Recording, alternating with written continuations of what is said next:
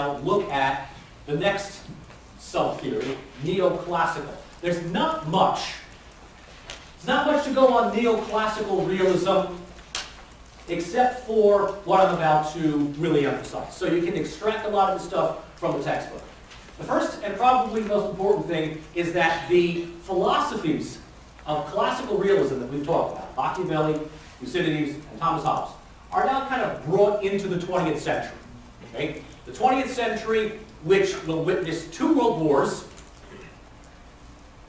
weapons of mass destruction, and warfare to a degree that people never thought imaginable. Now what does that do for us? It means that neoclassical realism is far more pessimistic than classical realism initially observed. It is also based on a response to the next theory that we'll be looking at, liberalism. Liberalism, for the sake of just moving the argument forward, is far more optimistic. Liberalism is, come on guys, let's give peace a chance. Come on guys, we can do better than that. And neoclassical realism is like, yeah, you want to know what that happened? Hitler, that's what happens. Okay? You give peace a chance, reality is dictated by what? The Most insane person in the room. And guess who was that insane mofo? Hitler. Okay? Peace in our time, Chamberlain? What the fuck do you mean peace in our time? Okay? Czechoslovakia wasn't even invited to the conference that dissolved its own sovereignty. Dude, seriously, who are you trying to kid? Okay? Eh? And if you don't believe me on that, Morgenthau basically voiced the concerns of U.S. security well before Kissinger came in. Right? Kissinger was also good neoclassical realist. Morgenthau was really the progenitor of Kissinger. Both of them were pessimistic, but wait until, wait until you get to E.H. Carr. Wait until you read Carr, right after the midterm. Carr's work on the 20-year crisis between World War I and World War II is basically the idea that collective security fails under Wilsonian liberalism. Okay? You can have all the best intentions out there. That's all fine and good. If there still are belligerent states in the arena, that necessitates you to be belligerent as well. We would like to change, but hey, the world is run by idiots and probably always will be. Okay? So neoclassical realism is kind of like a aha moment to some of the ideas of liberalism, which, by the way, right, I'm not debunking liberalism before we get to it. Lots of important things that come out of the school of liberalism, but neoclassical realism is kind of saying, yeah, you know what, hippie, take a seat. Okay?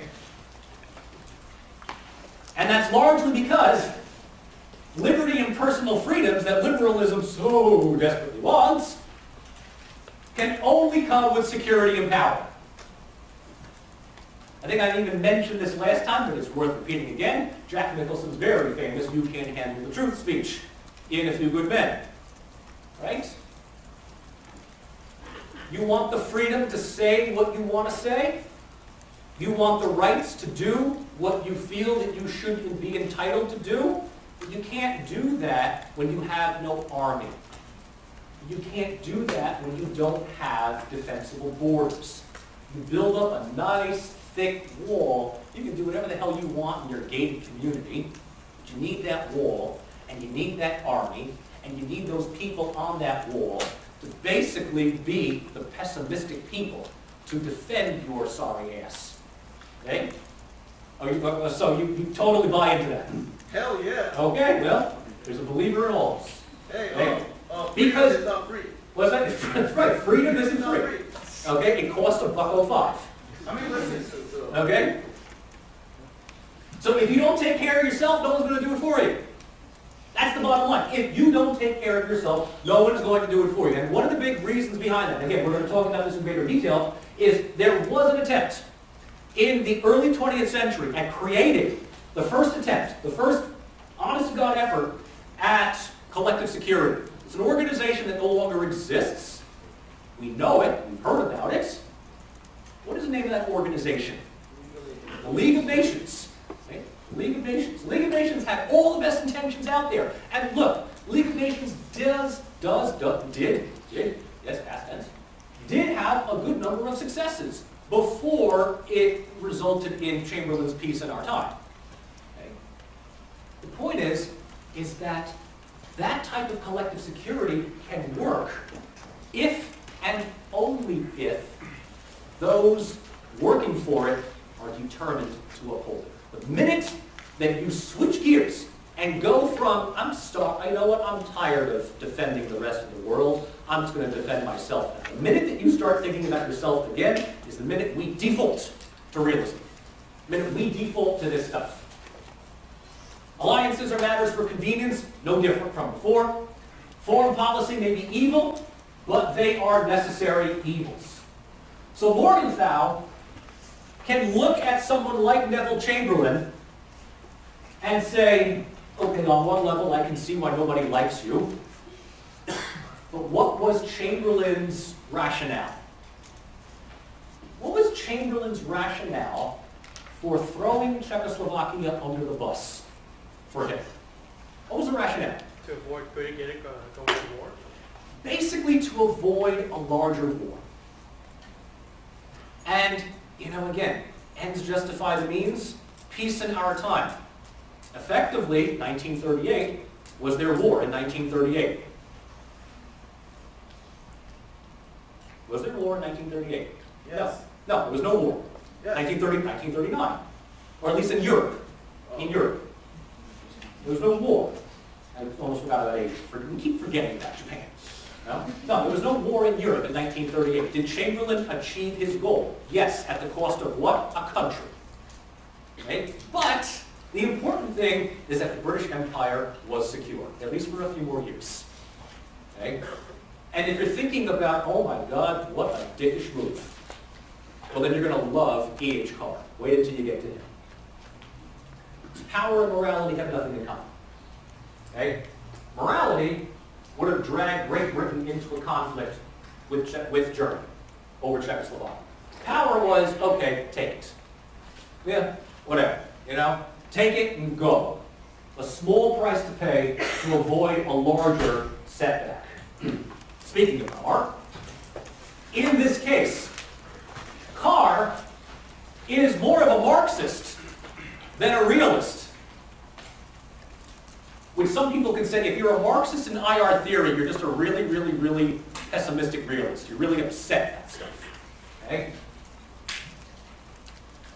But the imposition of one state ideology on another is both dangerous and foolhardy. And why is that? Because a good number of countries put their trust in the League of Nations. They put their trust in the promise and guarantee by other countries that their sovereignty would be defended. And that works if and only if that promise remains. The minute that these countries decide, nah, you're not worth it, guess what? Your security is compromised. So neoclassical realism basically says, don't, don't, don't buy into this stuff. It's not going to help you because at some point you will be used as collateral for a larger end. Hence the cynicism that Morgenthau and Carr had weighed towards the League of Nations and later on Kissinger had weighed towards the United Nations. What's also interesting about neoclassical realism is that their greatest criticism comes not towards the belligerent countries of the non-West, but the Western countries themselves. Neoclassical realism is very, very critical about Western foreign policy of democratic spread. Because they say that's a tall order to make. Not only that, if you're going to play the morality card and intervene on behalf of some human rights being violated in one country, well, if you don't want to be seen as hypocritical, you got to go into all of them. You're going to do one, you're going to do them all. Do you have the money for that? Do you have the resources for that? Oh, you don't? Well, then that's the reason why we stay at home. Okay? Oh, look at poor Kuwait being invaded by Iraq. Somebody should do something about that. Okay? Oh, look at poor Ukraine being invaded by Russia. We'll fuck that. Okay? Oh, look at the poor people in Bosnia being subjected to all of those crimes against humanity. Somebody should do something about that. Oh, what country is that? Rwanda? Eh, well, we remember Black Hawk Down. Fuck it. Like, if you play that card, guess what? You hypocrite. okay? And you're only gonna get scorn from the rest of the world saying, why them and not us? Neoclassical realism is basically saying, look, you're gonna run out of money before you, you know, before you try to take over the world. Still, international system is little more than the national policies of the hegemonic state. Neoclassical realism acknowledges that power and morality do come into play, and that's a really bad thing. Because morality in this case is oftentimes linked up with justice. Here's where I want you to really think about this. Morality from the powerful state is linked up to, at that point, justice. In other words, Carr is saying is that any country that has the upper edge, whether it's Great Britain in the first half of the 20th century or the United States in the second half of the 20th century and for most of the 21st century, oftentimes run, has the final say on international law and international morality. What's good for the hegemonic country is good for the rest of the world. Therefore, if a country, another state, has its sovereignty violated, if that state plays into the interests or the geostrategic policies of a larger state, they may be blessed with the benefit of intervention. But if they are peripheral and have little to no value for the major countries, well then that's just life. Okay? That's just life. I, you're shaking your head, but again, that's why we call it realism in this case. Neoclassical realists are the most depressing out of all? So we better come up with something a little bit more optimistic. And that's where Ken Waltz comes in. In the remaining time that we have. Okay?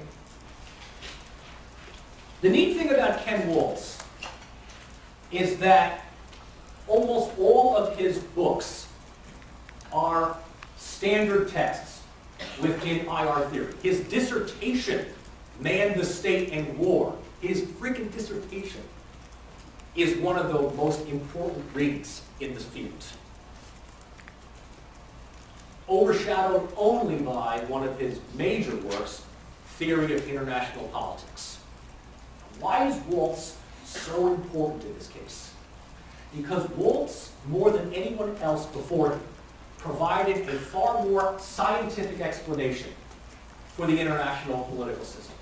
And he does so first in his dissertation, Man, the State, and War, which then he almost perfects in Theory of International Politics. What does he do? In his dissertation, he breaks the international system down into what he regards as three levels of analysis.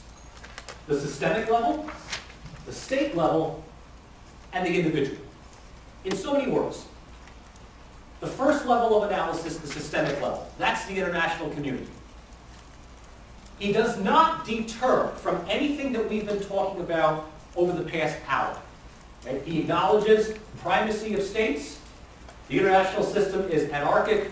States operate under imperfect information. And alliances can be made, broken, and remade again. All right? So nothing new. But think about it like this. This is a logical flow of ideas. He draws a lot from Machiavelli, whether he knows it or not. And he notice, he notices that the state, therefore, makes the actions that it does based on rational decisions. If the state knows, or more importantly, state leadership knows, that it is operating under incomplete information, no matter how great their surveillance network happens to be. They still have to err on the side of caution. You've got to remember here, folks, this is reality. The minute you make a wrong decision, you cannot restore to a previous game. Okay, you're playing an Iron Man mode. You screw up. Who wants to be at the helm knowing that they were the ones that reduced the security of their own country? So everything must be done prudently and with a grain of caution. As such, the states make the decisions that they do in the systemic level, not because they're belligerent, not because they're pessimistic, not because they're aggressive, but because they're cautious.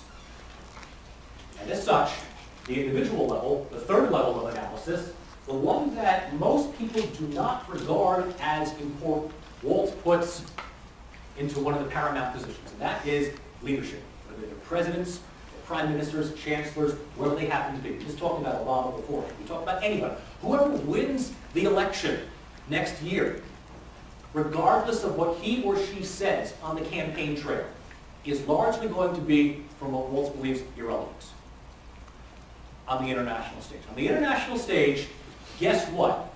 When you become the head of state of the United States, you automatically have a number of things that you have to do. Number one, you have to maintain close ties with certain countries around the world. Israel, Saudi Arabia, Great Britain, to name three. Now, most people are not going to be all that upset maintaining a good relationship with Great Britain. Israel, eh, eh, eh, win some, you lose some. Saudi Arabia, there's nothing good to say about Saudi Arabia. But the one thing that you have to do, keep that government in power, whether you like it or not. Okay? You have commitments that the state previously made. So what Waltz is basically saying is that the anarchic system of the international arena compels states, and more so their leaders, to act in certain ways. What Waltz is saying is that this is not just simply a vicious cycle of predatory nature. It's unfortunately the best system that we have, and as such, leaders need to make the rational decisions to move cautiously and defensively. Therefore, the actions of certain states compel leaders to act in certain ways. Does Obama really not care about the refugee crisis in Syria? If he had infinite resources at his disposal, would we not be intervening? Or better yet, if there never was an Iraq conflict in 2003, would we be as cash-strapped, military-wise and resource-wise, as we are today going up against Iran? Or better yet, would Iran even be as belligerent as it is today if it weren't for the removal of Saddam Hussein? The point that Waltz is making is that decisions that state leaders make are not based out of self-interest, but are based out of self-preservation of the state, one's responsibility for the state. And in that case, to finish up, when we look at the world, the world is not only divided by three levels of analysis, international, national, and individual, but by the different relationship of power at any given time. A bipolar system, a multipolar system, and a unipolar system. Just quickly, what is a bipolar system? Yes. Like in the Cold War where you got two major powers? Okay, the international system is dominated by two hegemonic powers that sort of balance each other out, right? The United States, Soviet Union. Uh, prior to that, you had maybe um, Elizabethan England and Ferdinand Spain, or whatever it happened to be. Or back in the day, you had Roman Persia. Okay, two major powers. When there's two powers that are constantly duking it out with each other, if you are in charge of one of those two powers, your decisions are heavily influenced by that power relationship. A multipolar system is what in that case? What's a multipolar system? It was like uh, late ni- uh, 1800s, early 1900s with like Austria-Hungary, Russia, So how many powers, roughly? like four or five. About three to five, but that's about it, yeah. Oh, So anywhere between like three or five. In this case, alliances can be made, broken, remade, whatever it is, everybody's sort of jockeying for power. Again, if you are a leader of any of those major powers, the decisions that you make to uphold alliance systems and to uphold commitments to lesser powers necessitate and direct one's activity. And finally, and this one rarely happens, but it does every so often, unipolarism. What's unipolarism then? Just by process of elimination. What's unipolarism? One country runs the show, okay? And here's the best part about it. When was the last time we had a unipolar system? USSR. USSR? Ottoman. Ottoman Empire? Oh, none of you were patriotic here. United States since the fall of the USSR? Yes, the United States after the fall of the Soviet Union, basically from 1992 until, well, 9/11. We ran the show, America, number one, okay? And even there, it's a dangerous situation to take, but if you're Bill Clinton or any of the Bushes, the decisions that you make to maintain that position on power effectively drives your leadership. So what Waltz is saying is that the international system is not as anarchic as we would like to think. It is somewhat structured. And that structure necessitates and forces, shapes the decisions and the, the decisions that we make and the opinions that we have. These theories remain one of the paramount theories of contemporary IR. So much so that neoliberalism and various strains of constructivism begin their arguments within Waltz's level of analysis. This is the closest that we actually have towards, I wouldn't say perfect information, but the most structured understanding of how the international system works today. The nature of the international system, anarchic as it is, forces states to make the decisions that they do. The decisions that states make over time necessarily influence future decisions that new individual leaders will make. You can say whatever you want when you're running for office. When you win that office, you have much more responsibility. There's a backseat driver, and then there's the one with the steering wheel. The backseat driver knows all the shortcuts, knows every rule, knows every trick of the trade. When you're actually driving, you have to take a couple, there's a few things you would like to do.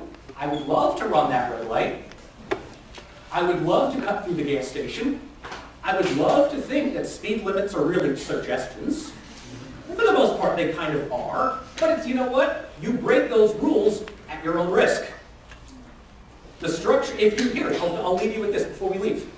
If you know that you are driving in a town where the cops constantly ticket you, are you more or less likely to follow the speed limit? More. Do you want to follow that speed limit? Not really. But are you going to? Yes. Okay? So Waltz gives us a lot more to think about than many of the others.